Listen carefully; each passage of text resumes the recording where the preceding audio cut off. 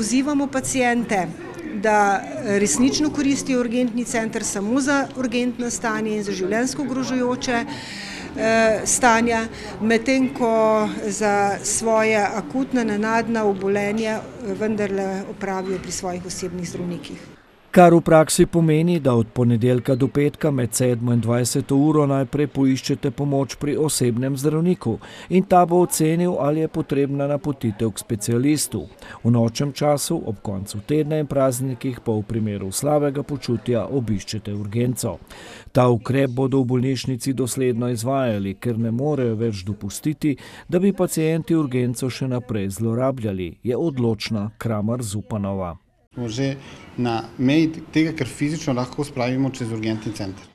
Naval bolnikov, ki niso nujni primeri, je postal neznosen. Dnevno sprejmejo kar dvesto pacientov.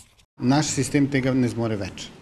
Opozarja Kostič in dodaja: "Mi se moramo tukaj ukvarjati z reševanjem življenj.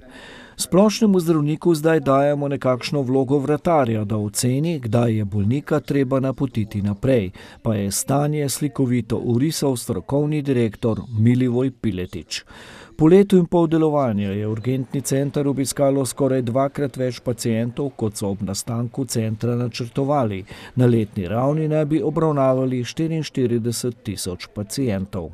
Dejansko pa smo jih v lanskem letu sprejeli štiriinšestdeset tisoč, trend v letošnjem letu pa je še narašča za trinajst odstotkov več kot lani, tako da računamo, da jih bomo do do konca leta pregledali oziroma sprejeli že sedemdeset tisoč.